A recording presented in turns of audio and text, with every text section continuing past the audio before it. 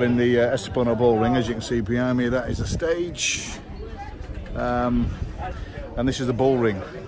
Now, it's not something that I uh, particularly like. I've never been to a bullfight. I would never go to a bullfight. And in fact, most of Spain have actually um, outlawed bullfighting. They do do mock bullfighting now, where they don't actually kill the bulls. But um, unfortunately, in this part of Andalusia, or certainly in Andalusia where we are in southern Spain, they still do do bullfighting. So it's not something that um, I particularly like. But it is good that they're still using some of the bull, bull rings for events uh, such as this one. So um, looking forward to it.